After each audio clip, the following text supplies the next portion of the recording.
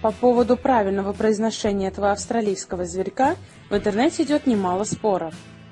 Одни утверждают, что надо произносить «вомбат», другие «вомбат».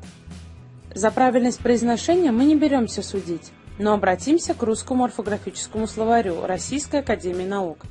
Там ударение поставили на «о», поэтому мы будем произносить «вомбат». А теперь о самом зверьке – Существует три вида вомбатов, которые объединили в одно семейство. После заселения Австралии европейцами ареал вомбатов значительно сократился. Причинами этому были разрушение их места обитаний, конкуренция с привезенными видами и охота на вомбатов. От квинслендского вомбата сегодня осталось лишь 118 экземпляров, которые живут в маленьком заповеднике в городе Квинсленд. Другие два вида – длинношерстный вомбат – и краткошерстый вомбат встречаются чаще и пока не находятся под угрозой исчезновения.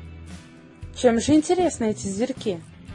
Внешне вомбаты напоминают маленьких медведей или же крупных хомяков. Это очень симпатичные миролюбивые существа. Их любимое занятие – это рыть землю. Своими острыми когтями вомбаты вырывают в земле жилые пещеры, которые иногда образуют сложные туннельные системы.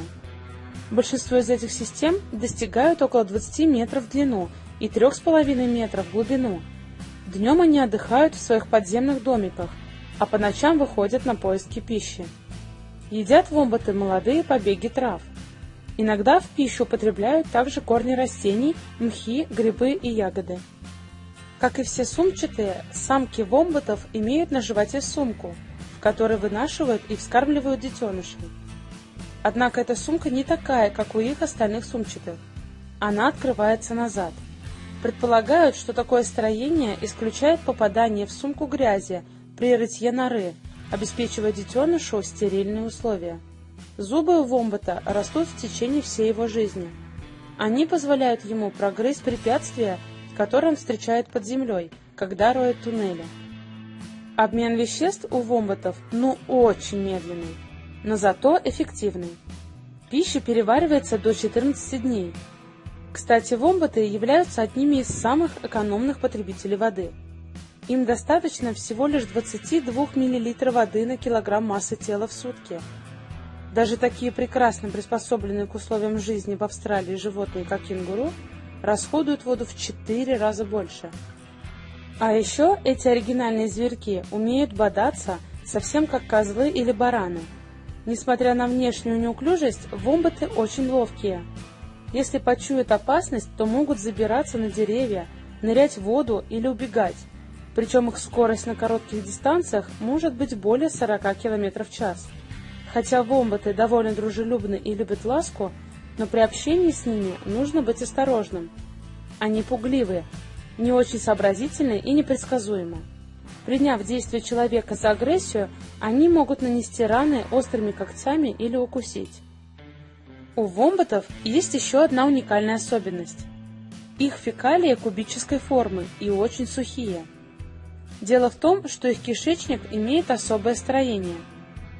Длина всего пищеварительного тракта у вомбата превышает длину тела в 12,5 раз – в результате длительного прохождения через кишечник и всасывания воды стенками кишечника фекалии становятся сухими и компактными, а горизонтальные складки в кишечнике придают им кубическую форму. По одной из версий, такая форма помогает экскрементам не скатываться с камней или стволов деревьев, где вомбаты, оставляя их, помечают границы своей территории. До недавнего времени существовали только две технологии изготовления кубиков – заливать и вырезать. А теперь, как утверждают ученые, у них есть третий способ. Только нужно научиться это делать так, как это делают вомбаты. У многих людей эти миленькие создания вызывают неподдельный восторг. Согласитесь, что вомбаты очень причудливые зверьки. Но загадочный дикий мир Австралии просто кишит необычными и диковинными зверями. В своих роликах мы еще будем возвращаться к уникальной природе Австралии. На этом все. Спасибо всем, кто смотрел видео до конца. Ставьте лайки и подписывайтесь на наш канал. До новых встреч!